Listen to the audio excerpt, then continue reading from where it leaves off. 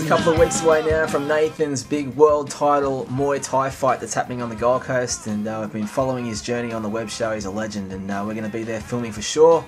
So I thought I'd go along and check out Nathan doing his training. I brought Gailey along. We went there after doing our chat at Broadbeach, and Gailey played Waterboy, and uh, we basically sat back and watched all the hard work.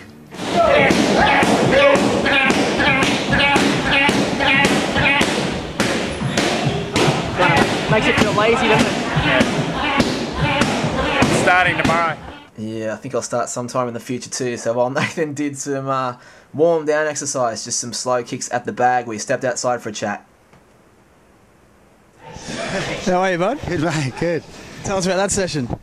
Oh, Monday session. So Monday's is usually the, the hardest session of the week. You know, have the weekend off, sit down, get a bit tight, a bit stiff. Uh, the week before creeps up on you, but yeah, got through it pretty good. So it shows that uh, I'm on I'm on track. So if I do a good Monday session, I know I'm going to have a good week. So All right, so tell us about like this big fight coming up December 8th, the Gold Coast. Uh, guy from where? Turkey? yeah, Turkish fighter. He's uh, five times uh, Turkish champion. So, and I think he's uh, second in the world at this stage. Um, so I don't know much about him. I haven't seen him fight. So it's going to be interesting. But uh, Turkish boys are usually pretty tough. Uh, they, they definitely come to fight, and um, I'm looking forward to it. You know, put my title up, and uh, I'm not ready not to be the champ. So, so I have to go hard and uh, keep the belt, especially back in Australia. Keep it keep it real for the Aussies. Now, mate, you've been getting better since I've known you the last couple of years, just developing your game. How do you feel about where your career's going? I mean, you're looking like a freak.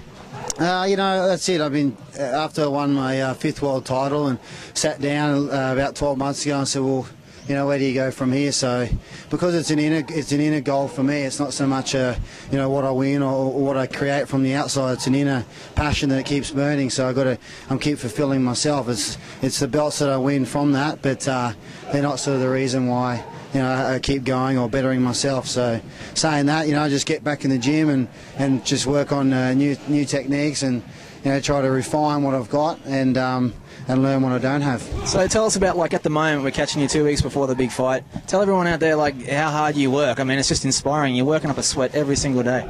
Yeah, it's, it's pretty hard. Fight, uh, being a Thai fighter, it's it's really you know intense sort of short training sessions. Where a swimmer might do a three or four hour session, or triathlete we're doing uh, only about you know 45 to an hour and a half of work, but the uh, 40 minutes is intense. You know, smashing the pads as you've probably seen on the on the footage and that. But uh, you know, sprint training. I like to combine my training, sprint training, weight training, but it's all uh, Pacific, so it's all power and explosive.